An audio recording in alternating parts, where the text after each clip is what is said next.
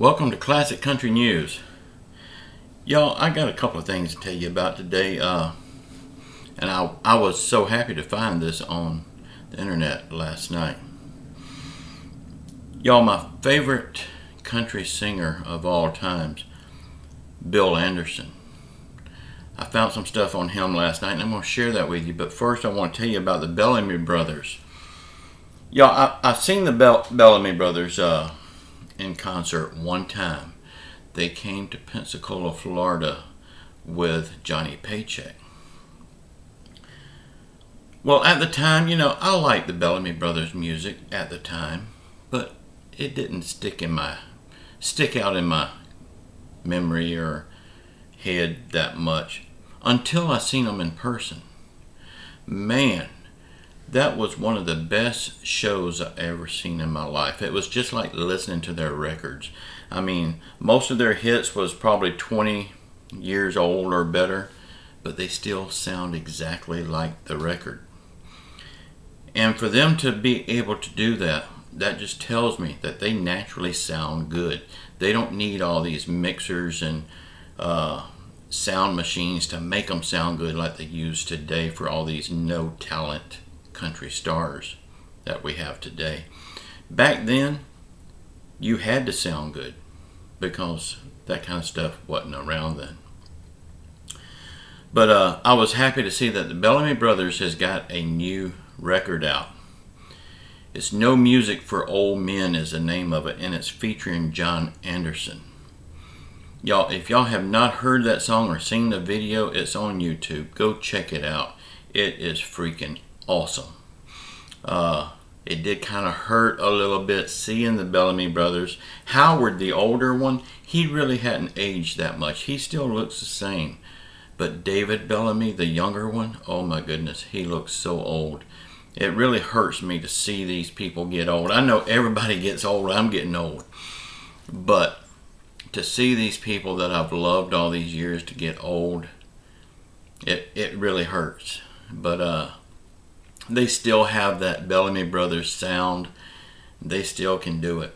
Y'all go check it out. Uh, the name of the song again is The Bellamy Brothers No Music for Old Men. It is awesome and it's true to the point. There is no music for older people today.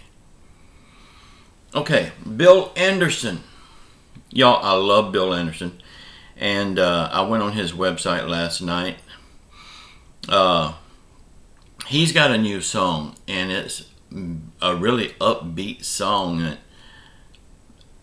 Y'all, it is great. Check it out. You can go to his website, his official website. It's there, or I'm sure it's on YouTube also. But the name of it is is uh, it's a great day to have a great day. It is freaking awesome too. Y'all, I've always loved Bill Anderson and I've always loved singing his music. Out of every all the songs that I sing, all the stars that I sing their music, Bill Anderson is my favorite star to sing his music. I love singing his songs. Of course, I can't do it the way he does.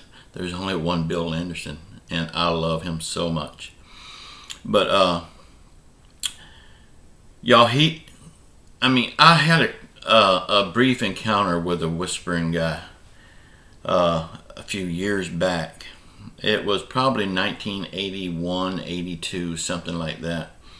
I had got a job at Po Folks Restaurant. Uh, they just opened a new one in Pensacola, and I was part of the opening crew.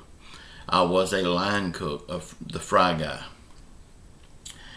Well, Bill Anderson was their spokesperson at the time. He came to the grand opening, and while he was there, he walked through the kitchen and shook everybody's hand that was working in the kitchen and just said a few words to them.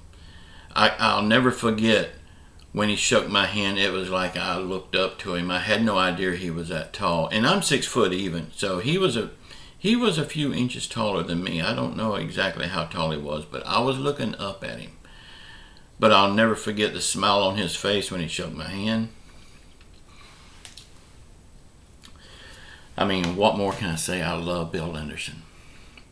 Uh, but that's a memory that will always stick out in my head. Uh, know, like I said, out of everybody that I sing their music, Bill Anderson is my all-time favorite to sing. And again, just like the Bellamy Brothers, he's getting old and it hurts to see him get old. But I guess we all do it, right? Getting old sucks. Uh, but y'all, there these these stars like the Bellamy Brothers, Bill Anderson, they're still recording and they sound just as good as they ever did. I mean, people are still wanting their music. They go to their website, they go to places like YouTube to get their web their music. We could be hearing their music on the radio if it wasn't for all the record executives in Nashville stifling it. They don't see it as a money making opportunity. They're only in it for the money. Well, these stars, they're in it for the love of the music, and it shows. I mean, Look at all these stars that comes in today, and just a few years later, they're gone. You never hear them, uh, hear from them again. Bill Anderson started what in the late fifties.